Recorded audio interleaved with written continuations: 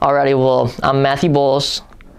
I've been training since June of 2019. I wrestled one year in high school, and I've been training out of Scramble BJJ Wrestling in Rome, Georgia, under Jason Hamilton.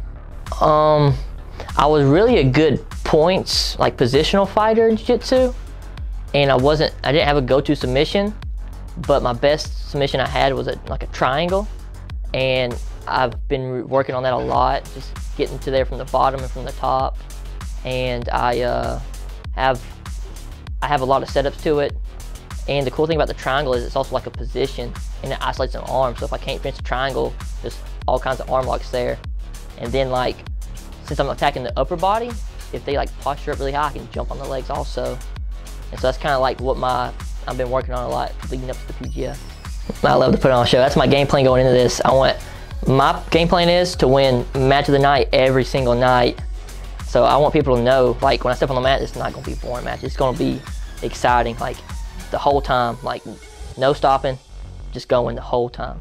I think a lot of them are more seasoned, and they probably been doing it like way longer than I have, and other competitors that are younger than that. But I feel like that also plays a part in it. Like, if me and Noah are like the only two like youngsters, I feel like we don't maybe uh, it gets bad and like we can kind of keep going longer. So maybe like in the, at the end of the season, maybe they'll be kind of like hurting a little bit more. Me know like kind of keep on like going. You know what I'm saying? Because like I used to go to sleep and like wake up and I don't feel no pain. I would say I'm a very high pace, exciting wrestler. Like I don't pull much. I like to wrestle, and I, I like to not concede anything. Like I like to fight for every little thing. It's just how I was trained. I trained really hard, like super hard.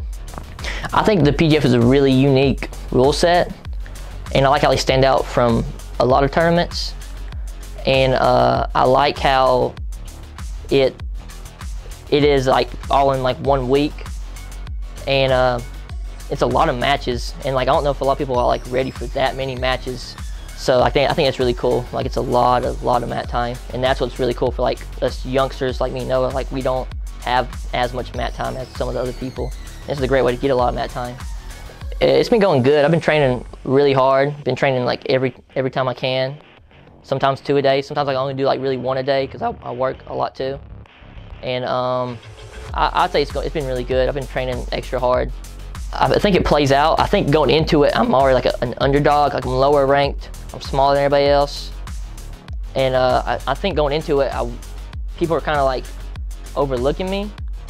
And I just hope people would just kind of like notice me, not be sleeping on me. And I think people who sleep on me, those are people I'll have a chance of like beating, like because like they might not like respect me being like smaller and being uh, younger, like a lower rank. And uh, I'd like to tap some higher belts because I think we all we all breathe oxygen, like we all we all the same, and no one's special. I just want to thank you guys for cheering me on, and uh, I'm gonna it's gonna be fireworks going on in this PGF. I think it's gonna be like the the most exciting season yet, I think, in my opinion.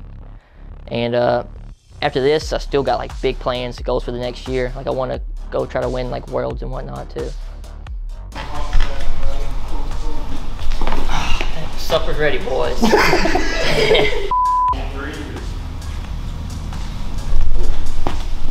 PGF season three. New year, new you. Except you're dead. PGF season three, because all your teeth is overrated. PGF Season 3, I might wear a onesie. Like with the feet and everything.